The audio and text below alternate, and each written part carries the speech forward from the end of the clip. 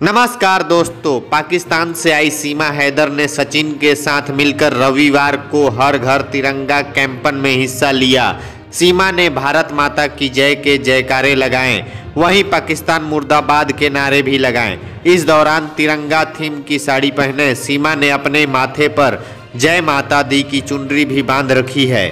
इसका video social media पर viral हो रहा है। सचिन सीमा के अधिवक्ता एपी सिंह ने सीमा और सचिन से काफ़ी देर तक बातचीत की। इसके बाद सीमा, सचिन और बच्चों ने मिलकर अधिवक्ता एपी सिंह के साथ घर की छत पर तिरंगा फहराया।